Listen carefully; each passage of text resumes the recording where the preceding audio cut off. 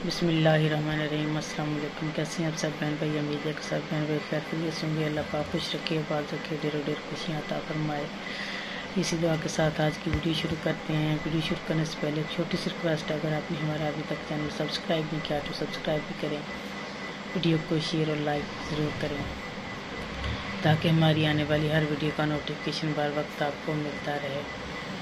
अच्छा जी, काफ़ी दिनों से ज़ुकाम, बुखार, खांसी मुझे और जान को मतलब ज़्यादा तबीयत ख़राब है। अदन बेटी को भी बुखार था। दो दिन से घर में दवाइयाँ मैंने उसे दी कल छुट्टी करवाई थी स्कूल से। आज स्कूल भेजा है।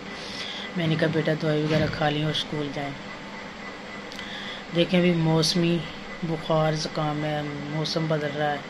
मतलब सर्दियाँ आ रही हैं तो हर मतलब जब भी मौसम बदलता है, ऐसे ही होता है। ज़ुकाम, बुखार तो हर घर की यही कहानी है। जिस तरह उस दिन हिबा को भी इतना तेज़ बुखार था मोइस को भी इसी तरह मतलब छोटे बच्चे हैं, पंखा ना चलाएँ तो मच्छर काटते हैं, अगर बस क्या करें तो फिर बच्चों को सर्दी लग जाती है और ज़ुकाम बुखार हो जाता है। मच्छरदानी में भी अभी गर्मी लगती है। तो आज मैं इस बेड पे ना मच्छरदानी लगा के जियान को लुटाऊँगी।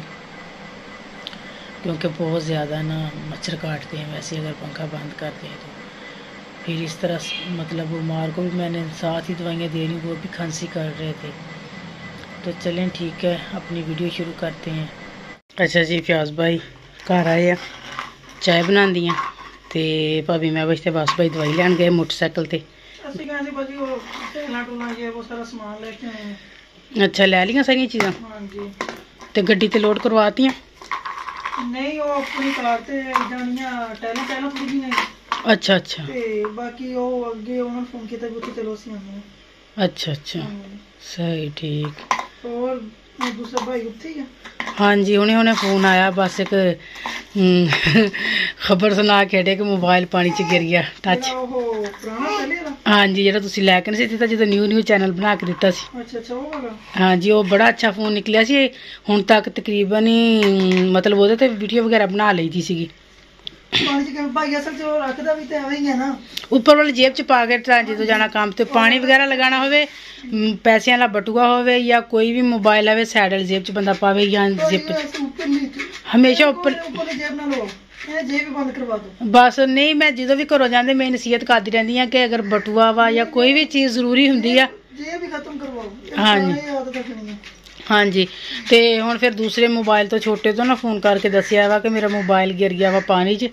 ਤੇ ਉਹ ਤੁਹਾਨੂੰ ਪਤਾ ਵੀ ਸਾਰੇ ਜ਼ਿਆਦਾ ਨੰਬਰ ਤੇ ਜਿੰਨੇ ਵੀ ਫੋਨ ਕਾਲ ਉਹਦੇ ਵਿੱਚ ਹੀ ਹੈ ਕਿਉਂਕਿ ਜ਼ਿਆਦਾਤਰ ਤੇਰੇ ਭਾਈ ਕੋਲ ਉਹੀ ਮੋਬਾਈਲ ਹੁੰਦਾ ਵਾ। ਇਹਦੇ ਵਿੱਚ ਤਾਂ ਸਿਰਫ ਤੁਹਾਡੇ ਹੀ ਮੇਰੇ ਮਤਲਬ ਨੰਬਰ ਆ ਭਾਈ ਜਵੇਦ ਦਾ, ਬਸ ਭਾਈ ਦਾ ਤੁਹਾਡਾ, ਜਾਂ ਪਿਤਾਰਾ ਦਾ, ਜਾਂ ਹਮੇਰਾ ਦਾ, ਬਸ ਆਹੀ ਨੰਬਰ ਆ। ਬਾਕੀ ਸਾਰੇ ਉਸ ਮੋਬਾਈਲ 'ਚ ਹੀ ਸੀਗੇ, ਜਿੰਨੇ ਵੀ ਉਹਨਾਂ ਦੇ ਜਾਣਨ ਵਾਲੇ ਜਾਂ ਜੋ ਵੀ ਹਿਸਾਬ ਕਿਤਾਬ ਸੀਗਾ। ਤੇ ਮੈਂ ਕਿਹਾ ਵੀ ਆ ਖਬਰ ਨਹੀਂ ਸਹੀ ਸੁਣਾਈ ਸਵੇਰ ਸਵੇਰ 40 50 ਹਜ਼ਾਰ ਦਾ ਤਾਂ ਆਪਾਂ ਲਿਆ ਸੀ ਫੋਨ ਮੇਰੇ ਖਿਆਲ। ਹਾਂਜੀ। ਤੇ ਉਹੀ ਹੁਣ ਦੁੱਗਣੀਆਂ ਕੀਮਤ ਬਹੁਤ ਮਹਿੰਗੇ ਹੈ ਹਾਂਜੀ। ਚਾਹੀਦਾ ਸੀ ਹੁਣ 50 ਤੋਂ 55 ਹਜ਼ਾਰ ਰੁਪਇਆ ਹਾਂਜੀ ਤੇ ਹੁਣ ਤੁਹਾਡੇ ਸਾਹਮਣੇ ਹੀ ਆ ਸੂਰਤ ਹਾਲ ਵੀ ਘਰਾਂ ਦੇ ਖਰਚੇ ਨਹੀਂ ਪੂਰੇ ਹੁੰਦੇ ਮੋਬਾਈਲ ਰੋਜ਼ਾਨਾ ਲੈਣੇ ਕਿਹੜੇ ਸੌਖੇ ਆ। ਅੱਛਾ ਚਲੋ ਭਾਈ ਨੂੰ ਕੋਈ ਬੰਦ ਕਰਕੇ ਰੱਖ ਦੇ। ਅੱਛਾ। ਧੂਪ ਤੇ ਤੇ ਚਲਾਏ ਨਾ ਉਹਨੂੰ ਸ਼ਾਰਟ ਹੋ ਜਾਏਗਾ ਖਰਾਬ ਕਰੇਗਾ। ਮੈਂ ਤੈਨੂੰ ਕਿਹਾ ਬੈਟਰੀ ਬੂਟਰੀ ਕੱਢ। ਬੈਟਰੀ ਵਗੈਰਾ ਕੱਢ ਦੋ ਕਹਿੰਦਾ ਬੈਟਰੀ ਮੈਨੂੰ ਨਹੀਂ ਪਤਾ ਦੀ ਨਹੀਂ ਹੋਣਗੀਆਂ ਅੱਛਾ। ਕਹਿੰਦਾ ਇਹਦੀ ਕਿੱਥੋਂ ਬੈਟਰੀ ਨਿਕ ਸਹੀ। ਠੀਕ ਅੱਛਾ ਚਲੋ ਅੱਲਾ ਚੰਗੀਆਂ ਕਰੂਗਾ। ਭਾਈ ਇਹਨੂੰ ਬੰਦ ਕਰਕੇ ਧੁੱਪੇ ਰੱਖ ਦਿਓ ਬਸ। ਸਹੀ ਠੀਕ। ਚਲੋ ਹੁਣ ਚਾਹ ਬਣਾਵਾਂ? ਬਣਾ ਲਓ ਇੱਕ ਕੱਪ ਮੈਂ ਤਾਂ ਥੱਕ ਗਿਆ ਸੀ। ਚਲੋ ਮੈਂ ਬਣਾਉਂਦੀ ਹਾਂ ਚਾਹ ਬਣਾਉਂਦੀ ਹਾਂ। ਅੱਛਾ ਜੀ ਬਸ ਭਾਈ ਦਾ ਇੱਥੇ ਇੱਕ ਸੂਟ ਪਿਆ ਸੀ।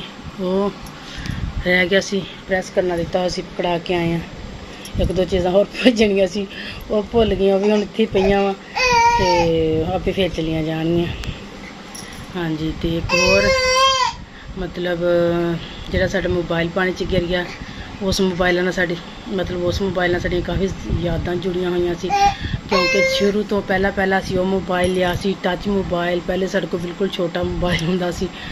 ਤੇ ਕਾਫੀ 2 ਸਾਲ ਸਾਰੇ ਅਸੀਂ ਮਤਲਬ ਬਹੁਤ ਅੱਛਾ ਮੋਬਾਈਲ ਸੀ। ਤੇ ਜਿਆਂ ਚੁੱਪ ਕਰੋ ਬੇਟਾ। ਲੇਕਿਨ ਹੁਣ ਉਹ ਪਾਣੀ 'ਚ ਗਿਰ ਗਿਆ, ਪਤਾ ਨਹੀਂ ਠੀਕ ਹੁੰਦਾ ਕਿ ਨਹੀਂ ਹੁੰਦਾ, ਲੇਕਿਨ ਮੈਂ ਬਹੁਤ ਪਰੇਸ਼ਾਨ ਸੀ, ਮੈਂ ਬਹੁਤ ਸਦਮੇ ਸੀ, ਮੈਂ ਕਿਹਾ ਵੀ ਮੋਬਾਈਲ ਲੈਣੇ ਕਿਹੜਾ ਸੌਖੇ ਆ 40 50 ਹਜ਼ਾਰ ਤੋਂ ਘੱਟ ਮੋਬਾਈਲ ਨਹੀਂ ਆਂਦਾ ਜਿਹਦੇ ਵਿੱਚ ਬੰਦਾ ਵੀਡੀਓ ਵਗੈਰਾ, ਵੈਸੇ ਤਾਂ ਲੱਖਾਂ ਦੇ ਮੋਬਾਈਲ ਆ, ਲੇਕਿਨ ਆਪਣੀ ਹੈਸੀਅਤ ਦੇ ਮੁਤਾਬਿਕ ਉਹ ਵਾਲਾ ਮੋਬਾਈਲ ਮੇਰੇ ਭਾਈਆਂ ਨੇ ਮੈਨੂੰ ਲੈ ਕੇ ਦਿੱਤਾ ਸੀ। ਸ਼ੁਰੂ ਸ਼ੁਰੂ 'ਚ ਜਦੋਂ ਅਸੀਂ ਚੈਨਲ ਬਣਾਇਆ ਸੀ, ਤੇ ਬਸ ਹੁਣ ਮੈਂ ਤਾਂ ਦੁਆ ਕਰਦੀ ਹਾਂ, ਅੱਲਾ ਕਰੇ ਧੁੱਪੇ ਵਗੈਰਾ ਦਾ ਕਿ ਸ਼ਾਇਦ ਠੀਕ ਹੋ ਜਾਵੇ। ਪਤਾ ਨਹੀਂ ਹੁਣ ਦੇਖੋ ਠੀਕ ਹੁੰਦਾ ਜਾਂ ਨਹੀਂ ਠੀਕ ਹੁੰਦਾ। ਅਦੋਂ ਦੇ ਪਾਪਾ ਨੂੰ ਪਤਾ ਹੀ ਨਹੀਂ ਚੱਲਿਆ, ਪਾਣੀ ਲਗਾ ਰਹੇ ਸੀ। ਹਮੇਸ਼ਾ ਉੱਪਰਲੀ ਉੱਪਰਲੀ ਜੇਬ 'ਚ ਮੋਬਾਈਲ ਵਗੈਰਾ ਪਾ ਲੈਂਦੇ ਸੀ। ਮੈਂ ਕਹਿ ਜਦੋਂ ਵੀ ਕਿਤੇ ਜਾਂਦੀ ਸੀ, ਮੈਂ ਕਹਿੰਦੀ ਸੀ ਕਿ ਤੁਸੀਂ ਇਸ ਤਰ੍ਹਾਂ ਕਰੋ ਕਿ ਨਾ ਮੋਬਾਈਲ ਸਾਈਡ ਵਾਲੀ ਜੇਬ 'ਚ ਪਾਇਆ ਕਰੋ ਜਾਂ ਜ਼ਿਪ 'ਚ ਪਾਇਆ ਕਰੋ। ਜਿਆਨ ਬੇਟਾ, ਤੁਸੀਂ ਇੱਕ ਤਾਂ ਸ਼ਰਾਰਤਾਂ ਨਹੀਂ ਕਰਨ ਹਟਦੇ ਬਸ ਅੱਲਾ ਚੰਗੀਆਂ ਕਰੂਗਾ ਹੁਣ ਤੇ ਲੇਕਿਨ ਅਗਰ ਮੋਬਾਈਲ ਖਰਾਬ ਹੋ ਗਿਆ ਤੇ ਹੋਰ ਲਿਆ ਵੀ ਨਹੀਂ ਜਾਣਾ। ਹਾਂਜੀ, ਇੰਨੀ ਮਹਿੰਗਾਈ ਆ, ਹੋਰ ਹੀ ਨਹੀਂ ਖਰਚੇ ਪੂਰੇ ਹੁੰਦੇ। ਮੋਬਾਈਲ ਕੀ ਲੈਣਾ। ਤੇ ਇਸ ਤਰ੍ਹਾਂ ਕਿ ਚਲੋ ਕਿਤੇ ਵੀ ਇਹਨਾਂ ਦੇ ਪਪਾ ਹੁੰਦੇ ਸੀਗੇ, ਤੇ ਬੰਦਾ ਕਾਲ ਵਗੈਰਾ ਵੀ ਕਰ ਲੈਂਦਾ ਸੀ, ਕੋਈ ਵੀਡੀਓ ਵਗੈਰਾ ਉਹ ਬਣਾ ਲੈਂਦੇ ਸੀ, ਕੋਈ ਅਸੀਂ ਬਣਾ ਲੈਂਦੇ ਸੀ, ਰਲ ਮਿਲ ਕੇ ਅਸੀਂ ਆਪਣਾ ਗੁਜ਼ਾਰਾ ਕਰੀ ਜਾਂਦੇ ਸੀ। ਤੇ ਚਲੋ, ਜੋ ਅੱਲਾਹ ਤਾਲਾ ਨੂੰ ਮਨਜ਼ੂਰ ਉਹੀ ਹੋਣਾ ਹੁੰਦਾ ਵਾ ਅੱਲਾ ਚੰਗੀਆਂ ਕਰੂਗਾ। ਤੇ ਉਹਦੇ ਵਿੱਚ ਹੀ ਮਤਲਬ ਕਾਫੀ ਨੰਬਰ ਵਗੈਰਾ ਵੀ ਸੀ, ਕੋਈ ਇੱਕ ਦੋ ਸਾਡੀਆਂ ਭੈਣਾਂ ਦੇ ਵੀ ਸੀ ਕਿ ਜਿਹੜੀਆਂ ਸਾਨੂੰ ਕਾਲ ਵਗੈਰਾ ਕਰ ਲੈਂਦੀਆਂ ਸੀ। ਉਹ ਸਮਝ ਲਾ ਵੀ ਜੇ ਮੋਬਾਈਲ ਨਾ ਆਨ ਹੋਇਆ, ਉਹ ਸਭ ਨੰਬਰ ਵਗੈਰਾ ਵੀ ਚਲੇ ਜਾਣੇ ਆ, ਕਿਉਂਕਿ ਇਸ ਮੋਬਾਈਲ ਦੇ ਵਿੱਚ ਜਿਹੜਾ ਮੇਰੇ ਕੋਲ ਜ਼ਿਆਦਾਤਰ ਹੁੰਦਾ ਸੀ, ਸਿਰਫ ਮੇਰੇ ਭਾਈਆਂ ਦੇ।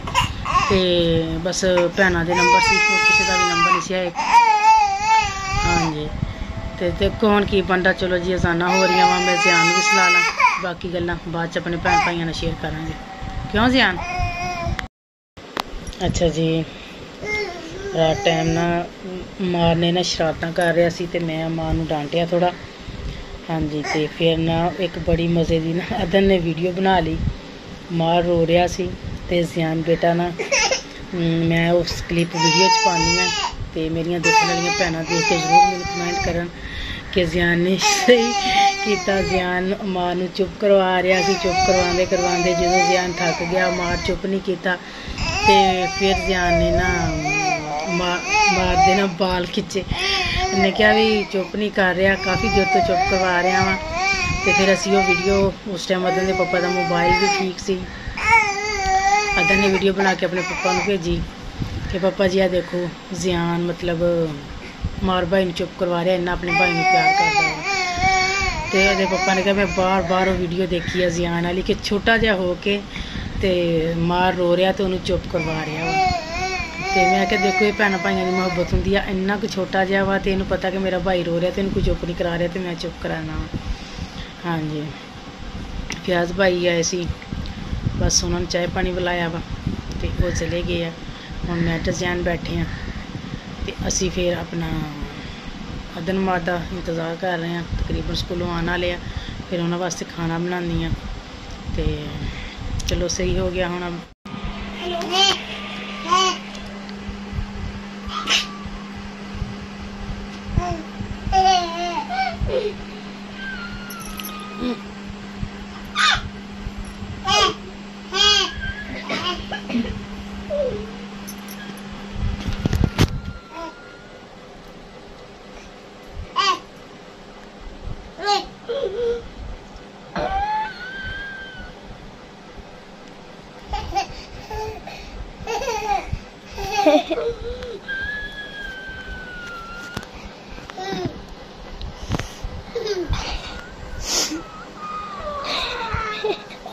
ਉਹ ਵਾਲ ਪੱਟ ਦਿੱਤੇ।